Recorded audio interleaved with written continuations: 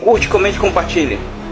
E eu quero garantir ao senhor, presidente Lula, que essa Polícia Federal, hoje, toda ela, está a serviço de uma única causa, que é a sua causa, a causa do Brasil.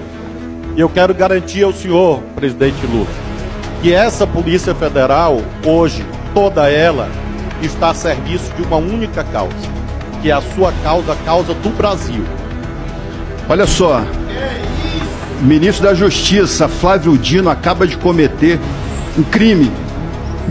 E eu irei representar aqui, fazer um requerimento de convocação do ministro à Comissão de Segurança e mais um pedido de impeachment.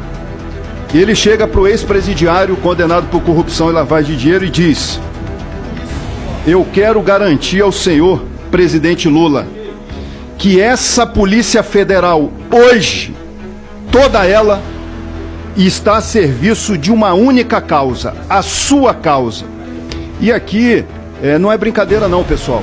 Isso aqui nós não podemos levar na brincadeira, porque qualquer deputado aqui da direita pode acordar com a sua esposa e com seus filhos, com a Polícia Federal na porta. Qualquer policial, qualquer deputado aqui da direita pode acordar a qualquer momento com essa Polícia Federal, comandada por esse diretor, por esse ministro da Justiça, com a Polícia Federal à sua porta.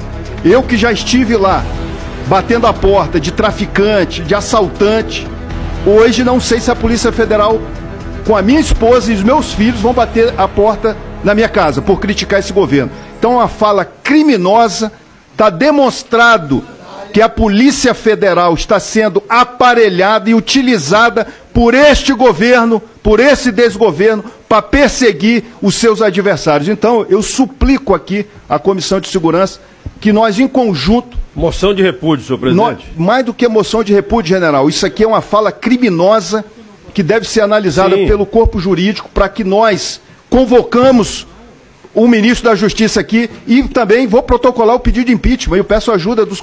Porque aqui ele está dizendo: a Polícia Federal está sendo utilizada conforme a sua causa. Estamos presenciando de forma recorrente declarações. Eu, eu vou dizer que essas declarações são declarações bizonhas.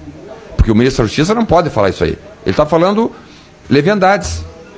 Porque a Polícia não pertence ao ministro da Justiça, nem desse governo, nem do governo anterior, nem do governo anterior, nem do governo anterior. A Polícia Federal é do povo brasileiro, doa quem doer.